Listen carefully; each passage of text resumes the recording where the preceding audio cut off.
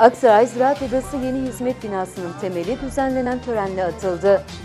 Belediye Başkanı Evren Dinçer, Ziraat Odası yeni hizmet binasının temel atma törenine katıldı.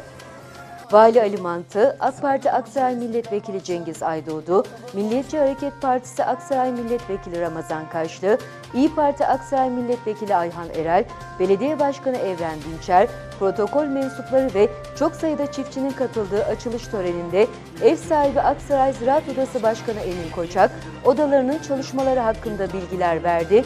Bir önemli projeyi daha hayata geçirmede yaşadıkları mutluluğu dile getirdi. Tarım Orman İl Müdürlüğü eski ek hizmet binası bahçesinde 2000 metrekare alana yapılacak Ziraat Odası Başkanlığı yeni hizmet binasının açılışında konuşan Belediye Başkanı Evren Dinçer, Ziraat Odası'na Başkan Emin Koçak'a il tarımına ve üreticiye verdikleri desteklerden dolayı teşekkür etti. Protokol konuşmalarının ardından Aksaray Ziraat Odası yeni hizmet binasının temeli dualar eşliğinde atıldı.